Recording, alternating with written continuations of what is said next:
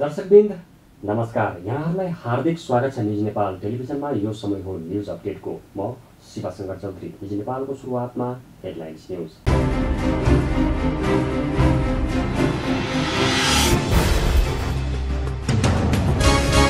आज आदिकवि भानुभक्ताचार्यको दुई सय सातौँ जन्म जयन्ती।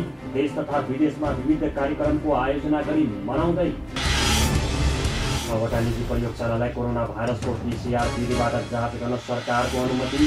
सरकारी तौरबाटै अझै थप केही प्रयोगशाला आउने क्रममा कोभिड नाइन्टिनका कारण पुनर्कर्जा व्यवस्थापन र रोजगारी सृजनामा ध्यान दिएर मौद्रिक नीति ल्याउने नेपाल राष्ट्रिय बैङ्कका प्रवक्ता डाक्टर भट्टको तयारी। सबै क्षेत्रलाई राहत मिल्ने गरी मौद्रिक नीति आउनुपर्नेमा वरिष्ठ उपाध्यक्ष शेखर गोल्छाको जोड अमेरिकाको फ्लोरिडा राज्यमा हालसम्मकै धेरैजनामा कोरोना भाइरसको सङ्क्रमण पुष्टि।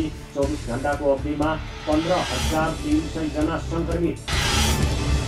अमेरिकी युद्धपोत युएसएस बोन होम रिचर्डमा आग लागि सत्रजना जहाज कर्मचारी र चारजना सर्वसाधारण सहित एक्काइसजना घाइते।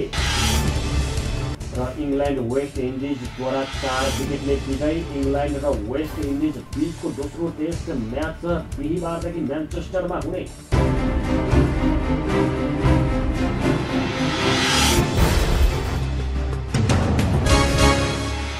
अब न्युज विस्तारमा।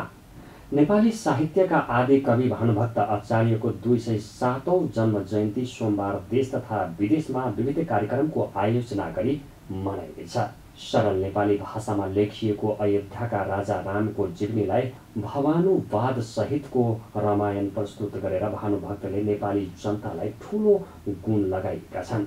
उनले लेखेको रामायण अहिले पनि नेपालीको घर घरमा सस्वर लय हालेर पाठ गरिन्छ।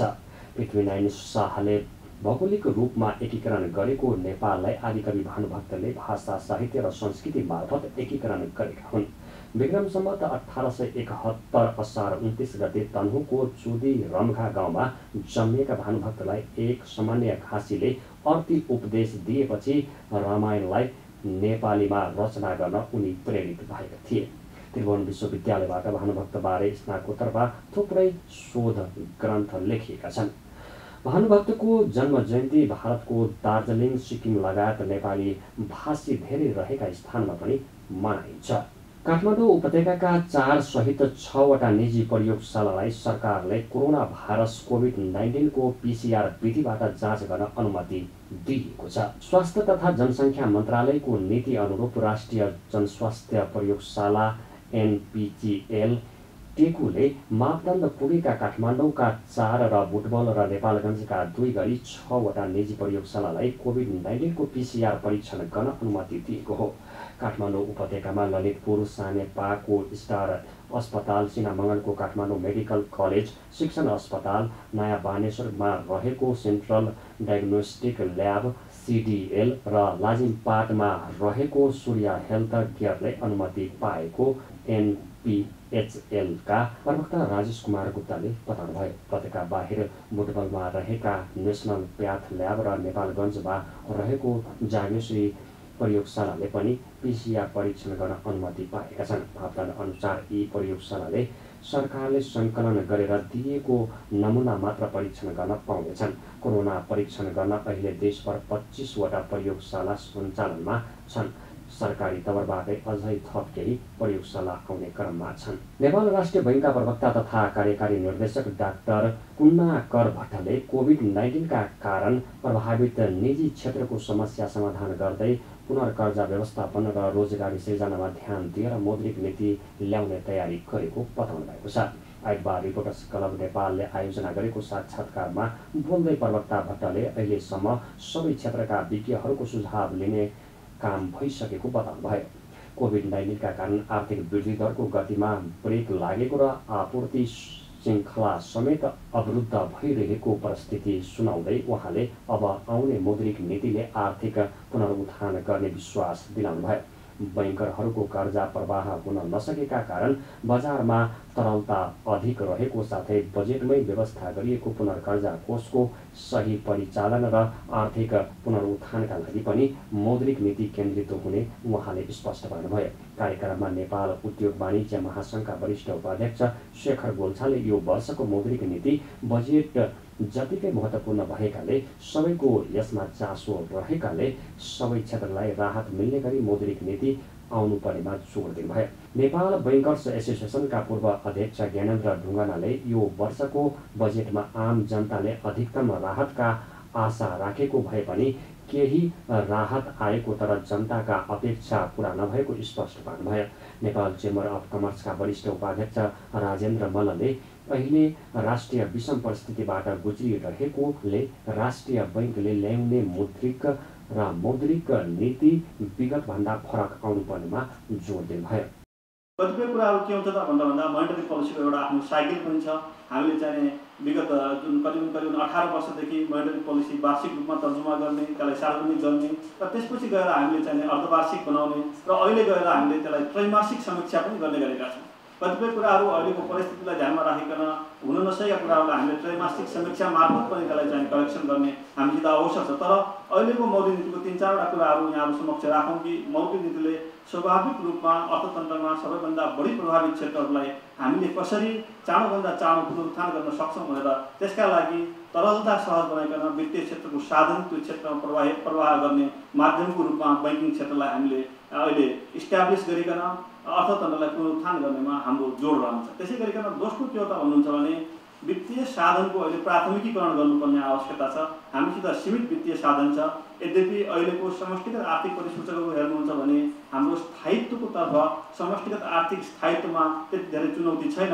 हामीसित अहिले अत्यन्त सुविधाजनक स्तरमा विदेशी विनिमय सञ्चित छ। त्यसै गरिकन भुक्तानी सन्तुलन गत आर्थिक वर्षभरि हामी घाटामा थियौँ भने यो आर्थिक वर्षभरि बचतमा छौँ अहिले पछिल्लो तथ्याङ्कले एक सय एक्काइस अर्बको शोधनान्तर बचत देखाइरहेको छ यसमा हामीले के देखिरहेछौँ भन्दाखेरि असार मसान्तमा उल्लेख्य सुधार हुने देखिरहेको छ शोधनान्तर बचतमा। र ब्याङ्किङ क्षेत्रको खराब कर्जाको प्रतिशत पनि अत्यन्त न्यून रहेको छ।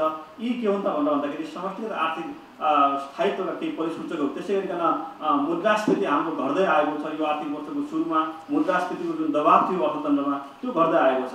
यसले मैले यो कुरा के जोड्न खोजेको हो भनेर भन्दाखेरि समष्टिगत आर्थिक स्थायित्वका परिसूचकहरू चाहिँ हाम्रा अहिले पनि बलिया छन्। पहिलो कुरा हाम्रो कर्जा जुन अहिले यति लामो समयसम्म बन्द हुँदाखेरि हाम्रो कुनै रेभिन्यू सोर्स नहुँदाखेरि हामी कर्जा तिर्न सकेका छैनौँ। र यस्तो कर्जाहरूलाई फेरि रिस्ट्रक्चरिङ हुनुपर्छ र कुनै कुनै केसमा हामीले ब्याजलाई पनि पुञ्जीकृत गर्नुपर्छ भनेर हामीले भनेका छौँ।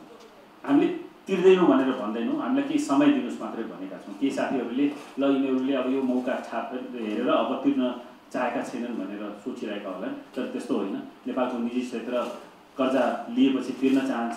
त्यसको प्रमाण के हो भने नेपालको एनपिए सायद वर्ल्डमै सबैभन्दा कम रहेको छ। हामी कर्जा लिएपछि तिर्न चाहन्छौँ। हामीले केही समय यो यो समय जुन एउटा कठिन समय छ त्यसलाई पार गर्नुको लागि केही समय मात्रै मागिरहेका छौँ। र त्यस्तै गरेर हामीले के भनिरहेका छौँ भने हामीलाई क्यास फ्लोमा समस्या भयो। त्यसैले गर्दाखेरि अहिले जुन तपाईँले धितो राख्नुभएको छ त्यही धितोमा हामीलाई बिस प्रतिशतसम्म अझ पैसा दिनुहोस्। र त्यसले हामीले बिजनेसलाई चलायमान बनाउन सक्छौँ। र व्यापार व्यवसाय चलायमान भयो भने फेरि हामी राजस्व तिर्न सक्छौँ। र फेरि हामी रोजगारी सिर्जना गर्न सक्छौँ। र त्यसैले गर्दाखेरि हामीलाई बिस प्रतिशतसम्म एक्स्ट्रा क्रेडिट दिनुहोस् भनेर पनि भनेका छौँ। त्यसपछि अर्को एउटा महत्त्वपूर्ण विषय हामीले के भनेका छौँ भने ब्याज दर। पक्कै पनि जुन अघि ज्ञानीजीले पनि भन्नुभयो इन्फ्लेसन रेटभन्दा कम ब्याज दर हुनु हुँदैन त्यसकोबाट अर्को विकृति आउँछ फेरि पुँजी पलायन हुने पनि खतरा हुन्छ। फेरि एउटा मध्यमवर्गीय जसले डिपोजिट गरेको छ उसको लागि कुनै नेपालमा अरू अप्सन छैन। हाम्रो सेयर मार्केट त्यति बलियो छैन। यस्तो अप्ठ्यारो परिस्थितिमा राज्यले केही न केही बजेट मार्फत होस् या मोनिटरी पोलिसी पोलिसी मार्फत केही सहुलियतका सुविधाहरू दिनुपर्छ। यसमा सबैले आँखा लगाएको र सबैभन्दा ठुलो भनेको रिफाइनेन्सिङको ठुलो कोष हो। रिफाइनेन्सिङमा पक्कै पनि पाँच पर्सेन्टमा कर्जा उपलब्ध हुन्छ तर रिफाइनेन्सको पनि आफ्नै सीमित एक सय पचास एक सय एक सय पचास अरबको सीमित फन्ड छ। यसले हाम्रो टोटल बजारमा त तिन हजार अरबभन्दा बढीको कर्जा छ। सम्पूर्ण ऋणी या कर्जावालालाई यसले समेट्न सक्दैन। त्यस कारण यसमा यसको पनि कार्यविधि मेरो विचारमा अन्तिम अन्तिम चरणमा आइसक्यो। कार्यविधि बनेर मास लेभलमा साना तथा मझौला उद्योग किसान अथवा बेरोजगारहरूले बढीभन्दा बढी यसको सदुपयोग गर्न पाउने गरी मध्यविधि आओस् भन्ने चाहन्छु। चाहिँ यो ब्याङ्कमा जुन किसिमको एउटा ब्याज दर चाहिँ सहुलियत लानुको लागि हाम्रो चाहिँ ब्याङ्किङ तपाईँको त्यो बेस रेट हुन्छ लागतमा अलिक घटाउन कतातिरबाट घटाउन सकिन्छ। यहाँ ब्याङ्कर्स एसोसिएसनका पनि पूर्व अध्यक्ष र हालका सिओभित्र पनि हुनुहुन्छ। त्यतातिर पनि तपाईँहरूले अलिकति ध्यान दिनुहोस्। किन भन्दाखेरि यो ब्याङ्क भनेको अरू उद्योग जस्तो होइन। यसको जिम्मेवारी अरू उद्योगले गर्दा भन्दा पनि ब्याङ्कको चाहिँ सबभन्दा ठुलो रेस्पोन्सिबिलिटी छ मुलुकको लागि। भन्दाखेरि योतिर हामीले चाहिँ एउटा लागत घटाउने र चाहिँ यो स्प्रेड रेटहरू भयो तपाईँको साढे चार प्रतिशत चार पोइन्ट चार राखेको ठाउँमा त्यसलाई चाहिँ तिन सवा तिनमा झार्ने होइन? अब अब गर्नै सक्दैन भने अहिले चाहिँ व्यवसाय गरेर चाहिँ मुलुक चलाउने अवस्थामा मुद्दकीको उसमा पनि तपाईँहरूले समयअनुसार केही घटाएर उद्योग र व्यवसाय फस्टाउनुको लागि यतातिर चाहिँ राष्ट्र ब्याङ्कले एड्रेस गर्नुपर्छ। उहाँले आम व्यवसायको लागि मौद्रिक नीतिमा ब्याज दरको कुरा सम्बोधन हुनुपर्ने बताउँदै अहिले राष्ट्रिय नै विषम परिस्थितिबाट गुज्रिरहेकोले समग्र क्षेत्र एक भएर अघि बढ्नुपर्नेमा जोड दिनुभयो। अमेरिकाको विभिन्न राज्यहरूमा कोभिड नाइन्टिनबाट सङ्क्रमित हुनेहरूको सङ्ख्या फेरि बढ्न थालेको देखिएको छ।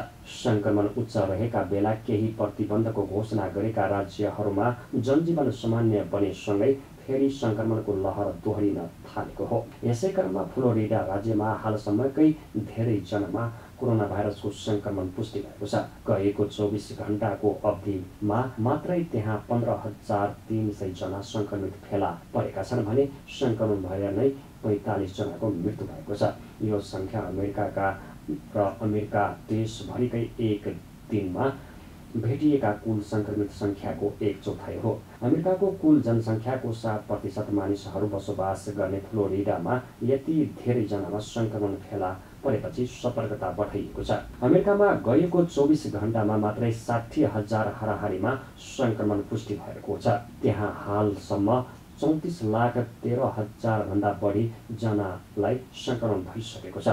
उनीहरूमध्ये एक लाख सैँतिस हजारजनाको मृत्यु भइसकेको छ। विश्वमा सङ्क्रमितको सङ्ख्या एक करोड तिस लाख नागेको छ। पाँच लाख एकहत्तर हजारभन्दा बढीको मृत्यु भइसकेको छ। पचहत्तर लाख पचहत्तर हजार सङ्क्रमितहरू भने केही समयको अस्पताल बसाएपछि सङ्क्रमण मुक्त भएर फर्किएका छन्। अमेरिकी युद्धपोत युएसएस बोन होम रिचर्डमा आगलागी भएको छ। सान डियोगोमा रहेको जलसेना अड्डामा आगो लागेको हो घटनाको भिडियो फुटेजमा जहाजको डेक मुनिबाट धुवाको बाक्लो मुस्लो उठेको देखिन्छ। विस्फोट भएको पनि जहाजका कर्मचारी घाइते भएको र पुष्टि भएको छ। आगो निभाउनका लागि अनेकौँ दमकल पुगेका छन् भने एम्बुलेन्सहरू पनि घटनास्थलमा देखिन्छन्। सत्रजना जहाज कर्मचारी र चारजना सर्वसाधारणलाई चोटपटक लागेको र स्थानीय अस्पतालमा उपचार भइरहेको छ। अमेरिकाको जलसेना बलले ट्विट गरेर जानकारी दिएको छ। अधिकारीहरूले सबै कर्मचारीलाई जहाजबाट सुरक्षित निकालिएको बताइएको छ। कोरोना भाइरसको महामारी बीच खेलिएको पहिलो टेस्ट क्रिकेटमा वेस्ट इन्डिजले इङ्ल्यान्डलाई हराएको छ। इङ्ल्यान्डको साउथ ह्याम्पटनमा गए राति सकिएको टेस्ट म्याचमा पाहुना टोली वेस्ट इन्डिजले इङ्ल्यान्डलाई चार विकेटले पराजित गर्यो जितसँगै तिन खेलको श्रृङ्खलामा वेस्ट इन्डिजले एक शून्यको अग्रता बनाएको छ। पहिलो टेस्टको पाँचौँ तथा अन्तिम दिन घरेलु टोली तिन सय तेह्र रनमा अल आउट भएपछि वेस्ट इन्डिजले दुई सय रनको विजय लक्ष्य पाएको थियो। इङ्ल्यान्डबाट पाएको मध्यम लक्ष्य वेस्ट इन्डिजले छ विकेट गुमाएर पुरा गर्यो। उसका लागि जेमाइन ब्ल्याकवुडले पन्चानब्बे रन बनाउँदा रोस्टन चेसले सैँतिस रनको योगदान दिए। इङ्ल्यान्डका जोफ्रा आर्चरले तिन तथा कप्तान वेस्ट स्टोक्सले दुई विकेट लिए पनि टोलीलाई जिताउन सकेन। इङ्ल्यान्ड र वेस्ट इन्डिज बिचको दोस्रो टेस्ट म्याच यही बिहिबारदेखि म्यान्चेस्टरमा हुनेछ। हामी न्युज अपडेटको अन्त्यमा आइपुगेका छौँ। जाँदा जाँदै हेडलाइन्स न्युज पुनः एकपटक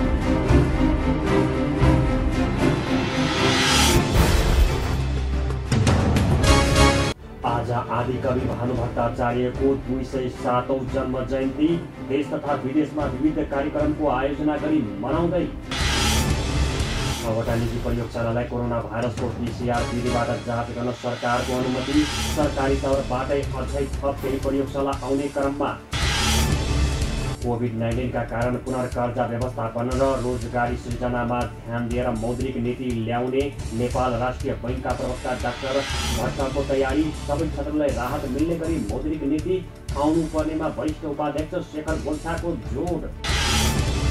अमेरिकाको फ्लोरिडा राज्यमा हालसम्मकै धेरैजनामा कोरोना भाइरसको सङ्क्रमण पुष्टि। चौबिस घन्टाको अवधिमा पन्ध्र हजार तिन सयजना सङ्क्रमित। अमेरिकी युद्धपोत युएसएस बोन होम रिचर्डमा आग लागि सत्रजना जहाज कर्मचारी र चारजना सर्वसाधारण सहित एक्काइसजना घाइते। र इङ्ल्यान्ड वेस्ट इन्डिजद्वारा चार विकेटले विजय इङ्ल्यान्ड र वेस्ट इन्डिज बिचको दोस्रो टेस्ट म्याच बिहिबारदेखि म्यान्चेस्टरमा हुने।